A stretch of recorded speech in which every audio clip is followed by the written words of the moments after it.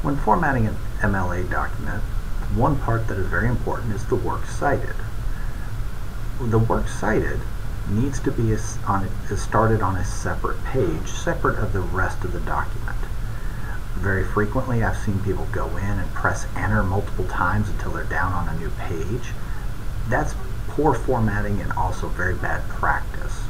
There's a very simple way to force a new page within a document and that's through a page break. In a case like this, I've already got my works cited created, but it's not on a separate page. You don't have to create the works cited first. You can force yourself to a separate page before you create it. And that's a very simple process by simply clicking the Insert menu, and there is a button that says Page Break.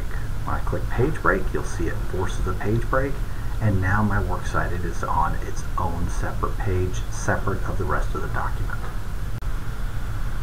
And another option for inserting a page break, if you don't want to go through the insert page break, there is a keyboard shortcut you can do as well. You place the cursor where you need it to be. In this case, I'm placing it in front of my works cited.